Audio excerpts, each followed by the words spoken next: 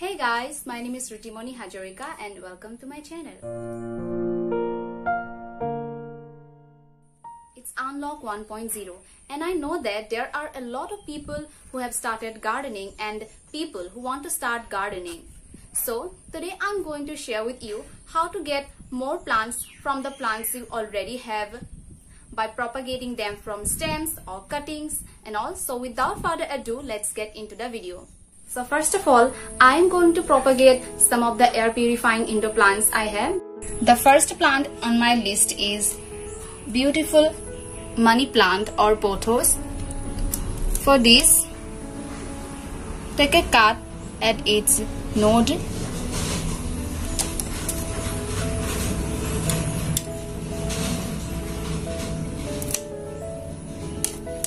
like this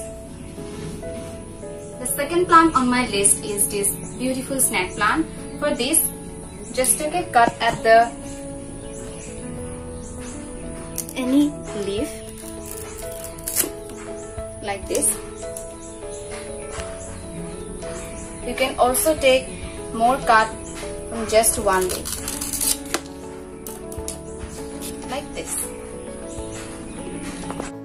Our plant I'm going to propagate is this beautiful syngonium or arrowhead plant. For this, we have to take a cut from its stem.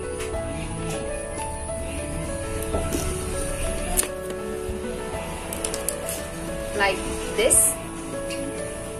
The fourth plant I'm going to propagate is this beautiful Siamese evergreen or aglaonema.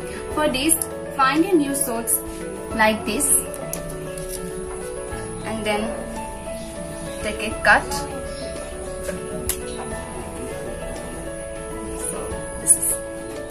For all these air purifying indoor plants here I am using water method because it does great in water also. And uh, for these but make sure to change the water every 3 to 4 days because every 3 to 4 days the oxygen in water gets depleted. So now place the cuttings in water like this.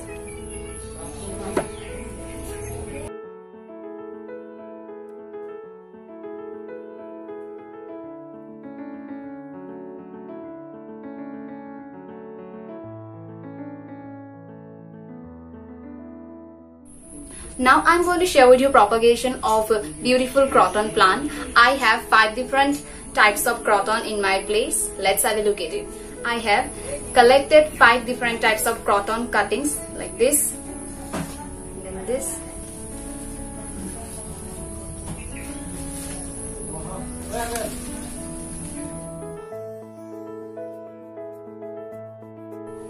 For the propagation of bigger croton, remove the extra leaves by just keeping 3 to 4 leaves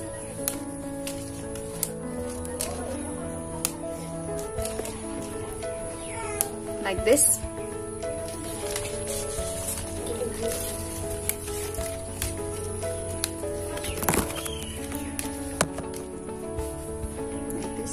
and then keep 6 to 10 leaves when it comes to smaller croton like this. Since the base of the croton stem is hard, so scratch the base gently like this because it helps in faster growth. When you are propagating the cuttings, make sure to place the cuttings in semi-shaded area otherwise the plant will not thrive. Since croton propagation does great in soil compared to water, so I am going to use soil method. You can also use water method. It's totally depend on you. Then place your croton cuttings in soil like this. But make sure your soil is moist.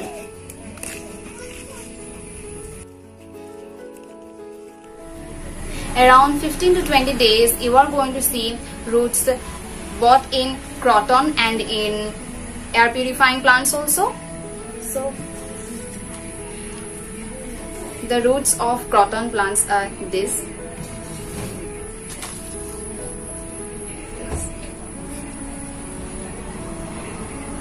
So yeah.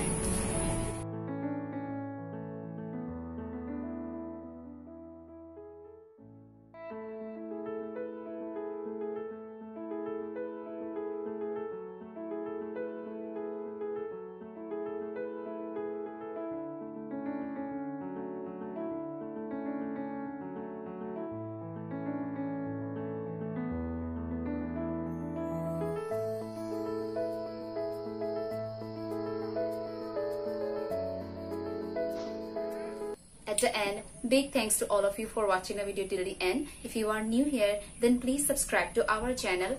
And if you find this video helpful, then please give it a like, share, and uh, have a great time with your plants. We'll see you in my next video. Bye bye.